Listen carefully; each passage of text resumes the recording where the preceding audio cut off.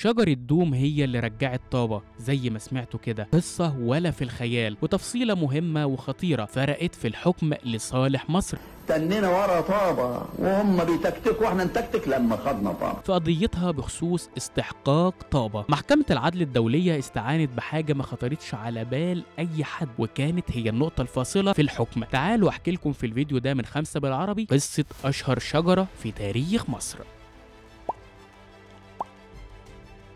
بعد انتصار مصر في أكتوبر 1973 مصر نقلت أزمتها مع الدولة الدخيلة لطريق قانوني ودبلوماسي وفضلت السلم بخصوص استرجاع منطقة طابة واللي كانت آخر منطقة من سيناء عليها نزاع وكانت وقتها عبارة عن مستوطنات. سنة 1988 حصل نزاع حدودي بين مصر والدولة الدخيلة على طول الشريط الفاصل من رفح في الشمال لطابة في الجنوب. ومصر اتجهت للمحكمة الدولية في جنيف لإثبات حقها ووقتها مصر قدمت كل المستندات لإثبات حقيتها ومن ضمن المستندات كانت صورة مهمة جدا واللي ظهر في الصورة دي كان نقطة فصل في القضية. الصورة اللي قدمتها مصر ضمن المستندات كان فيها جنود مصريين متصورين تحت شجرة دوم في طابة. طبعا ده دليل مهم جدا أصل لو هي مش مصرية الجنود المصريين ليه متصورين هناك؟ وبالفعل المحكمة الدولية أخذت بيها وكانت من أحد الأسباب في استرداد مصر لطابة. مصر قدمت مستندات كتيرة جدا عشان تثبت أحقيتها لأرض طابة واللي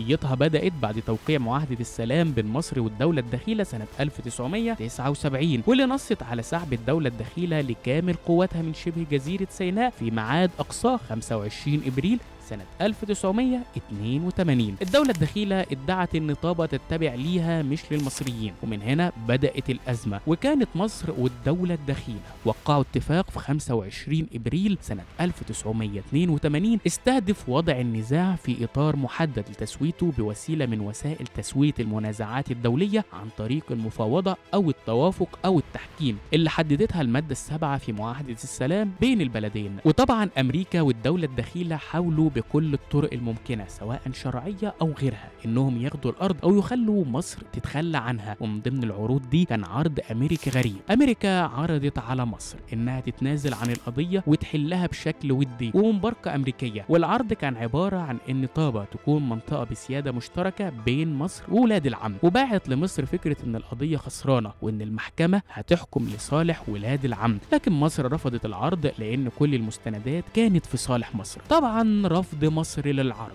كان مخاطرة كبيرة خصوصا إن وارد جدا إن كل حاجة تتغير في ثواني والمحكمة لأسباب معينة تحكم بعدم أحقية مصر للمنطقة. وده كان التحدي والاحتمال اللي الحمد لله ما حصلش. وفي 29 سبتمبر سنة 1988 هيئة التحكيم أصدرت حكمها التاريخي في جلسة علنية عقدت في قاعة المجلس الكبير بالمقر الرسمي لحكومة مقاطعة جنيف في حضور وكيلي الحكومتين وأعضاء هيئة الدفاع لكل من الجانبين وأعلنت أخيرا عودة طابة لمصر وتم رفع العلم المصري عليها 19 مارس سنة 1989